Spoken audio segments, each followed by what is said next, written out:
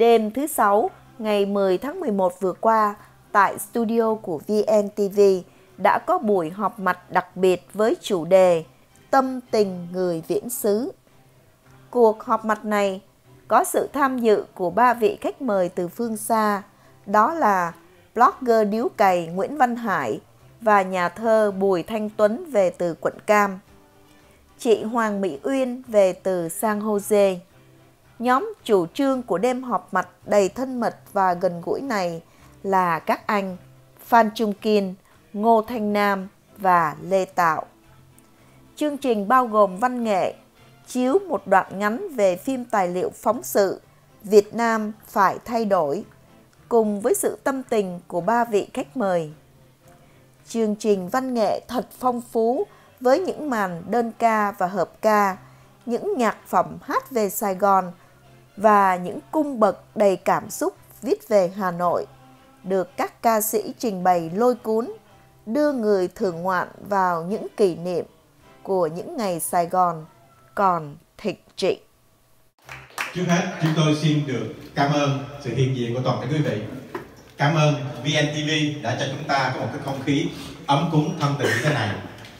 Cảm ơn nhạc sĩ Hữu Quang và các ca sĩ cùng đến tham dự chương trình hôm nay.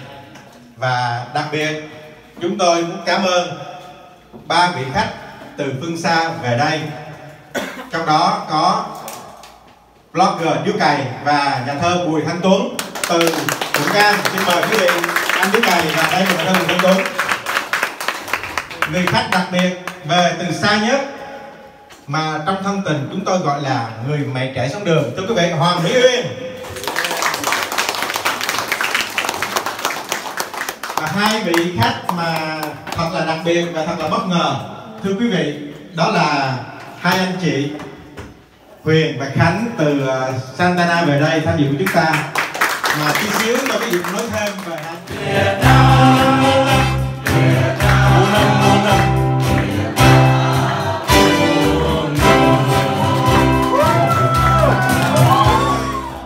Cả khán phòng đã tưng bừng hát theo những bài hợp ca hào hùng như Đoàn Lữ Nhạc, Việt Nam quê hương ngạo nghễ, Lửa hồng rực sáng và kết thúc bằng Việt Nam, Việt Nam.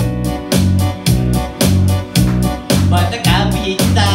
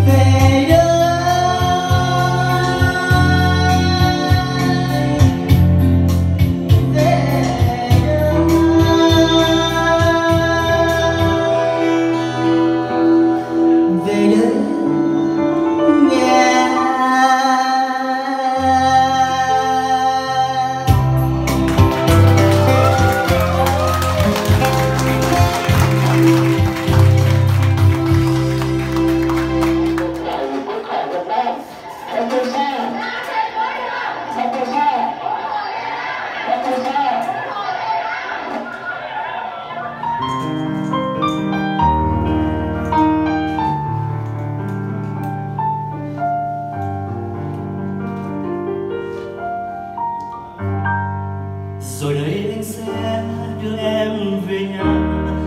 Nhà của đôi ta xinh xinh hoa có vườn dâu xanh ngát ngoài ô có đôi non cây lá cỏ con sông nào đưa lối?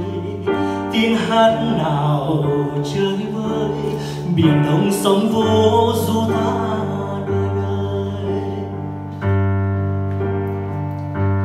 rồi đây ta sẽ đưa nhau về nhà về miền quê ta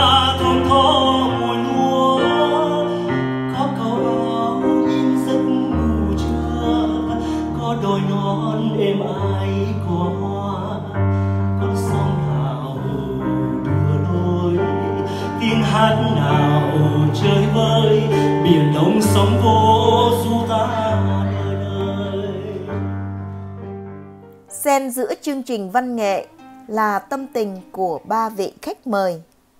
Chị Hoàng Mỹ Uyên chia sẻ những suy nghĩ của chị về đời sống hôm nay, nhìn về người tù mẹ nấm.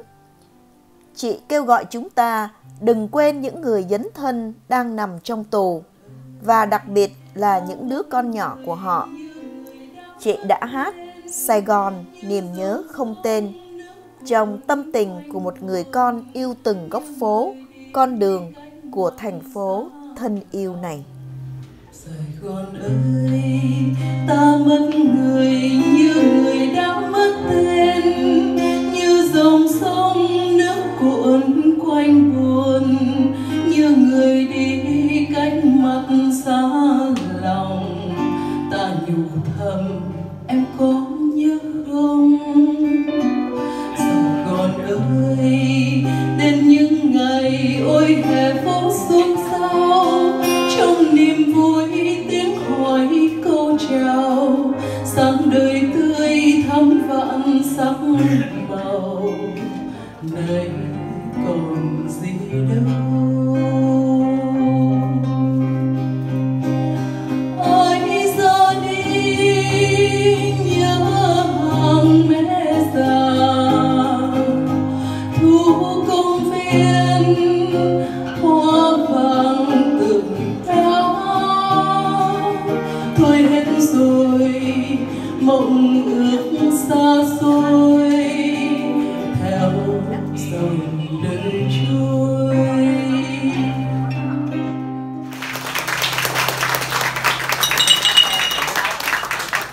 Blogger Điếu Cày đã chia sẻ về những tháng ngày trong tù và những kỷ niệm mà ông có với hai người nhạc sĩ trẻ là Việt Khang và Trần Vũ Anh Bình.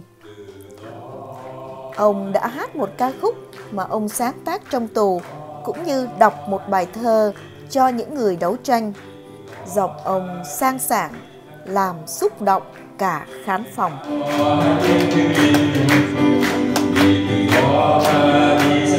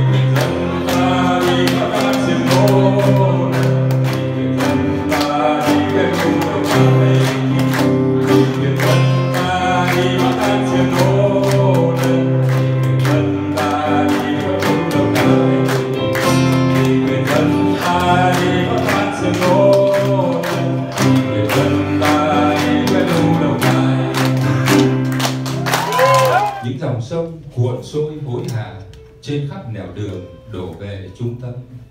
Những dòng sông lại gặp những dòng sông hòa thành biển lũ, sóng biển trào dâng, đòi tự do dân chủ, sóng cuốn phăng đi thành lũy lũ độc tài những dòng sông chảy mãi tới tương lai. Chúng tôi đi hòa cùng dòng sông như những giọt phù sa một phần bé nhỏ. Cuộc đời tôi từ nay gắn bó với dòng sông tranh đấu của quê hương những dòng sông sinh viên xuống đường chống quân bắc triều xâm lược. Những dòng sông công nhân, hàng triệu người nhịp bước, đòi tăng lương, đòi tự lập công đoàn. Những dòng sông của hàng triệu dân ngoan, đòi lại đất đai ruộng vườn bị mất. Những dòng sông giáo dân nguyện cầu đòi đất, tòa khâm sứ la vang giáo sứ thái hà. Khơi dòng sông tâm linh, tuôn chảy đến mọi nhà, thắp nến hiểu thông, cùng chung lời nguyện ước những dòng sông trên khắp miền đất nước. Chống bất công chống tham nhũng độc tài. Như lê thị công nhân và nguyễn văn đại nay giúp dân hoan, mai hướng dẫn sinh viên hiểu biết về dân chủ. Chúng tôi đi vì quyền dân chưa đủ dù bị bắt giam trong năm ngục và đầy. Những dòng sông vẫn không nghỉ một ngày chảy về phía tự do dân chủ. Nhà thơ Bùi Thanh Tuấn nói về bài thơ của anh được phổ nhạc thành ca khúc nổi tiếng Hà Nội mùa vắng những cơn mưa. Và sau đó anh đọc một bài thơ của mình và hát với tất cả tấm lòng. Bùi Thanh Tuấn à, không phải chỉ có một nhạc phẩm là à, là Hà Nội mùa vắng những cơn mưa anh có anh có viết rất nhiều nhạc phẩm khác à, mà phải nói rằng á là thơ anh có nhiều bài phải nói rằng rất hay à, thôi đọc th- đọc bài thơ đi đọc bài thơ nhé được không tình cờ cái này không có trong chương trình nhưng mà mình, mình làm nổi mới hay Dạ. Ờ, đọc thơ. Khoan đã có vị quý vị khán giả nào muốn hỏi điều gì không đó? Ờ, Có, em còn em cũng Dạ. hỏi mấy câu nữa cũng không có trong chương trình luôn thấy ờ, cái quá trình của anh á là ờ, ở Bảo Lộc xong rồi ờ, đi vô Sài Gòn lập nghiệp rồi lại bỏ hết Sài Gòn rồi Dạ, trở về trở về quê hương của mình. Rồi lại có cái thời gian anh chắc cũng gần bằng tuổi như em thì anh mention là ờ, anh có nói là ờ, có một thời gian đi du học cũng không thành công thì lao đao bao nhiêu năm rồi bây giờ lại sang định cư ở, ở nước Mỹ không biết là định cư hay không nhưng mà sang lại nước Mỹ thì anh có thể ờ, ờ, cho quý ờ, khán giả ờ, một số tâm tình về cái quãng thời gian cả một cái cuộc đời như vậy thì có những cái kỷ niệm có những cái gì muốn chia sẻ với khán giả San Diego dạ ý là em xin xinh đẹp muốn ờ, chất vấn Tuấn cuộc đời. Chất vấn nhà thơ nghèo về lý do tại sao lại bỏ phố lên rừng đúng không? Trong khi một Sài Gòn hào hoa đô hội và rất nhiều cơ hội có thể kiếm được rất nhiều tiền lại bỏ lên phố, lên núi để bán cà phê, kiếm sống qua ngày chờ qua đời. Nhà thơ sống dai lắm quý vị, cho nên đừng có hy vọng điều đó. Và khi mà Tuấn ở Sài Gòn 22 năm học hành và làm việc ở đó qua các cơ quan báo chí, đài truyền hình thì cuộc sống rất là sôi nổi cho nhiều cơ hội và cũng lấy đi của Tuấn cái không gian bình yên. Một lúc cảm thấy ngột ngạt 22 năm quá đủ cho một cái đời sống, một cái không gian sống quá một ngạt chật chội. Và Sài Gòn càng ngày càng à, trở nên chật quý Tuấn nó không đủ để chứa cái cái xung động cái tâm thức mình nó không được yên lành để mà sáng tác. Thì Tuấn quyết định về lại với cha mẹ với núi đồi. Phố núi ấy có mẹ già mong đợi tiếng gõ đêm thản thốt phúc nguyện cầu lá vàng xưa trúc hao gầy tuổi mẹ, chiều lại chiều con ra đứng ngõ sau. Vâng thưa quý vị, đó là cái cảm thức của một người xa quê lâu ngày, vẫn nhớ về quê nhà. Cũng giống như quý vị là những người con đã rời Việt Nam vì nhiều lý do. Ai cũng nuôi trong lòng mình một mong ước là một ngày chúng ta sẽ trở về lại quê hương mình, một quê hương thật sự. Chứ không phải giống như nhạc sĩ Ngô Thụy Miên đã từng nói đã từng nói trong ca khúc của mình, trời Sài Gòn, hôm nay còn nhiều mây bay, nhiều niềm đau thương bi hận tràn đầy. Nhìn giọt lệ một thời an năm nhìn đất nước tơi bời một thời em còn hay. Hà vắng những cơn mưa. Cái đầu rầm khăn em bay, yêu yêu gió lạnh. Hoa sữa thôi rơi, em bên tôi một chiều tan lớp đường cổ người xưa, chậm chậm bước ta về.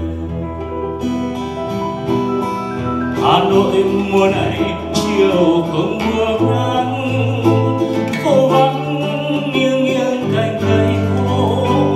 Quang khóc liêu xiêu câu thơ, hồ tây hồ tây tím mơ Hà Nội mùa này lòng bao nỗi nhớ ta nhớ đêm nào lạnh đôi tay, hơi ấm chào em tuổi thơ ngây. Tưởng như tưởng như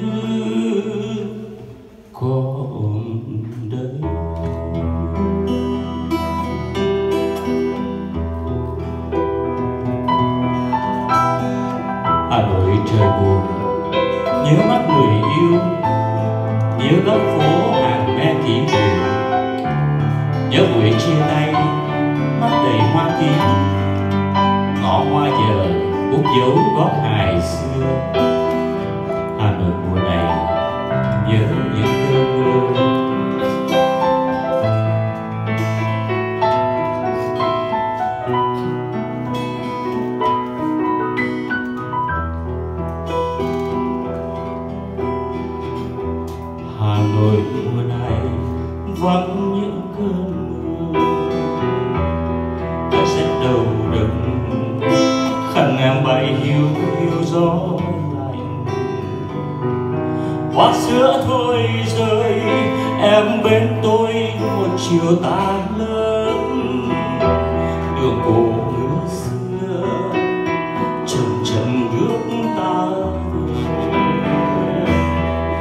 Nội mùa này chiều không mùa nắng phố vắng nghiêng nghiêng, cành cây khô quan tắt. Liêu siêu một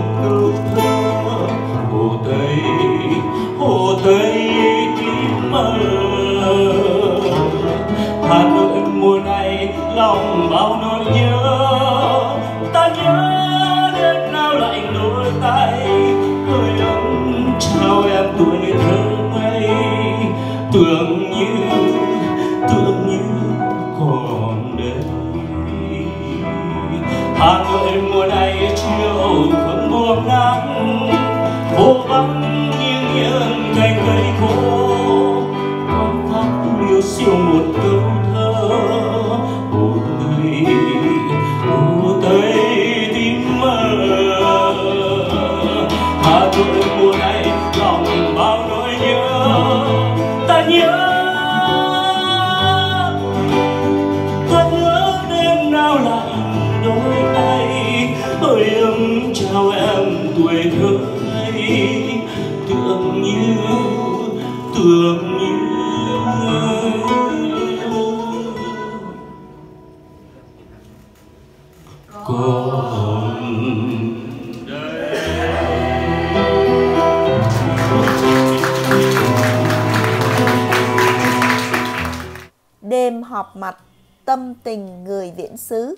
Bắt đầu từ 7 giờ 15 tối và kết thúc khoảng 10 giờ 20 đêm.